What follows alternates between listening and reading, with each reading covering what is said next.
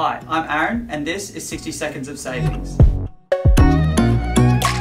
Today I'll be exploring the concept of renting. Moving into a rental can be an exciting time with a partner, a group of mates, or solo, but it's important to find a rental that you can realistically afford. The rule of thirds is a helpful tool to help realise what you can actually afford in rent. Take your weekly income and divide it by three. This will give you a realistic amount that you should be spending on rent each week. For example, if you earn $900 a week, you shouldn't be paying more than $300 a week in rent.